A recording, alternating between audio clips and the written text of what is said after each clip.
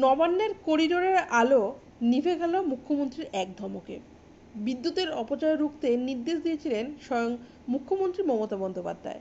মঙ্গলবার দেখা যায় নবান্নের একাধিক তলায় করিডোরের লাইট অফ দুপুর গড়িয়ে বিকেল হলো, কিন্তু লাইট আর জ্বলল না। মঙ্গলবার নবান্নের প্রথম তলা থেকে বারো তলা পর্যন্ত করিডোরের অধিকাংশ লাইটই অফ করা ছিল। তারপরেই দেখা যায় নবান্নের একাধিক তলায় জ্বলছে না করিডোরের লাইট মুখ্যমন্ত্রী সোমবারের মিটিংয়ের একেধারে ধরে ধরে একাধিক ভুল ত্রুটি উল্লেখ করে দিয়েছেন। আলো ফ্যান, এসি চালিয়ে সরকারি কর্মীরা চলে যান বলে ক্ষোভ প্রকাশ করেন তিনি।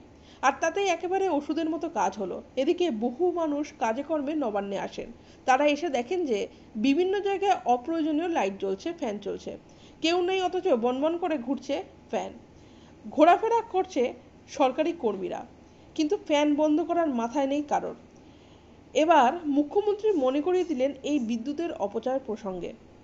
তবে বাংলার মুখ্যমন্ত্রী এই উদ্যোগকে সাধুবাদ জানিয়েছেন অনেকে। সোমবার মুখ্যমন্ত্রী বলেছিলেন, আলো জ্বলতেই থাকে, কেউ বন্ধ করে না। এরপর কার্যত হুঁশ ফেরে আধিকারিকদের।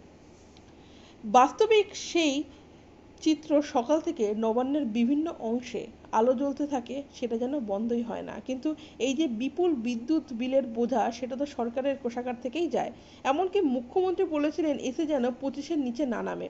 সেই অনুসারে যতটা সম্ভব বিল বাঁচানোর মরিয়ার চেষ্টা করছেন কর্মী আধিকারিকরা। বারবার চেক করছেন কোথাও আলো অপ্রয়োজনে জ্বলছে কি না এমনকি সূত্রের খবর কিছু অফিসে এদিন এসি চালাতেও দ্বিধাবোধ করেন কর্মীরা। যেখানে দুটো এসি একসঙ্গে চলতো, সেখানে একটা এসি দিয়েই কাজ চালানো হচ্ছে। এসি চালালে কেউ যদি বকে তা নিয়ে কানাঘুষো চলছে, সরকারি কর্মীদের একাংশের মধ্যে। সাধারণ মানুষের দাবি, বহু ক্ষেত্রে দেখা যায় দিনের বেলাতেও রাস্তার লাইট জ্বলতে। কেউ নিভিয়ে দিচ্ছে না। আবার সরকারি অফিস একেবারে এসিতে ছয় লাভ পাখা ঘরে ফ্যান চলে। কারোর বলার কিছু নেই।